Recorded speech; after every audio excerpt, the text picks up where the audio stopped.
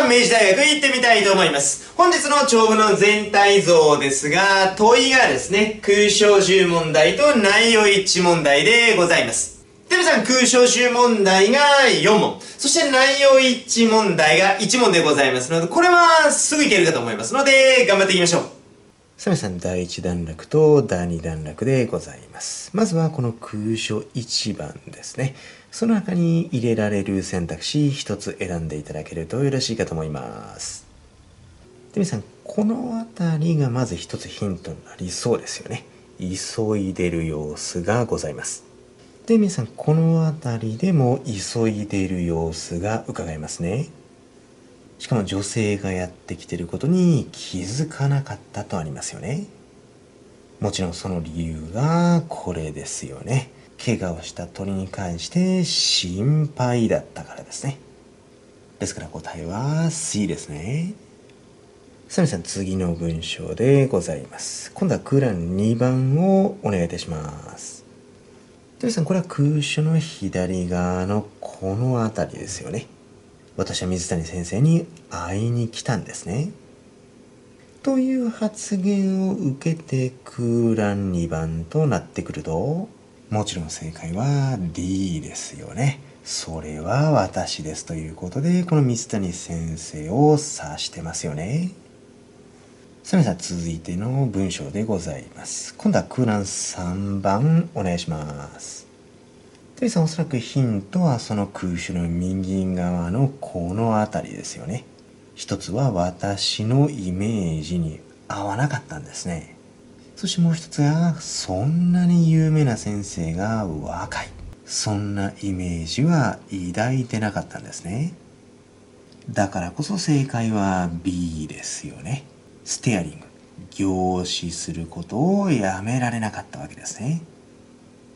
デビさん、この辺りで内容一致問題がいけるかと思いますので、まずは A はどうでしょう？もちろん×ですよね。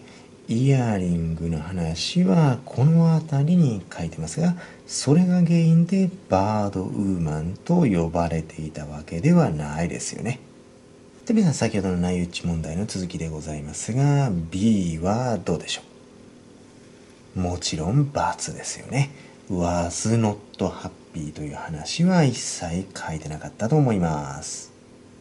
で皆さん続いて C はどうでしょう？もちろんその鳥が亡くなったという話はないですね。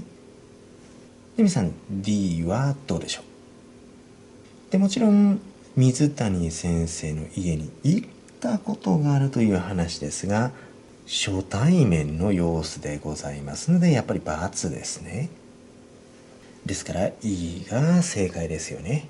話者は水谷先生がそういう様子だとは想像してなかった。予想してなかったということですね。で、その予想と違うイメージしていなかった様子がこの波線と合致しますね。で、皆さん先ほどの続きでございます。今度は空欄4番、残りの選択肢は2つです。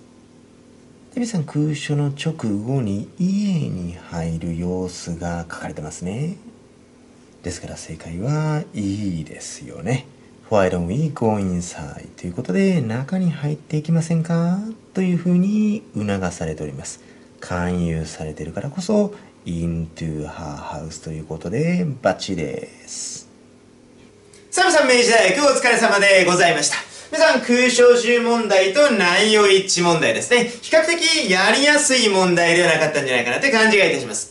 で、もちろん、明治大学全部がですね、えー、今ご紹介したようなレベルではなくってですね、やっぱもうちょっと難しいレベルもやっぱり出てきますので、やはり、やっぱり早慶上智ですね。あの皆さん頑張っていただいてるかと思いますが、早慶上智の過去問ですね。これも扱っていただきますと、試験当日、明治大学に余裕でですね、えー、解き切れる、えー、立ち向かっていけるという感じがいたしますので、取り入れていただけるとよろしいかと思います。